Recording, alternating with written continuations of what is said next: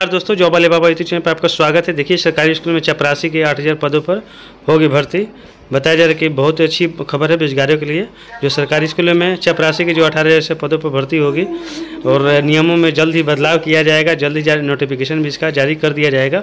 बताया जा रहा है कि जो चतुर्थ श्रेणी के कर्मचारी हैं, पच्चीस हज़ार आठ सौ उनसठ पद मंजूर हैं, जिसमें आठ हज़ार तीन सौ इक्यासी पद अभी वर्तमान में खाली हैं। तो बेरोजगारी के लिए बहुत अच्छी खबर है, उन पदों को भरने के लिए जल्द ही मंजूरी मिल जाएगी वित्त विभाग से।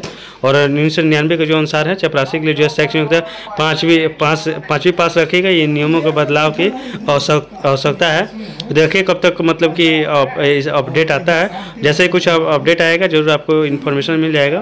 तब तक चैनल को ज़रूर सब्सक्राइब वीडियो देखने के लिए धन्यवाद।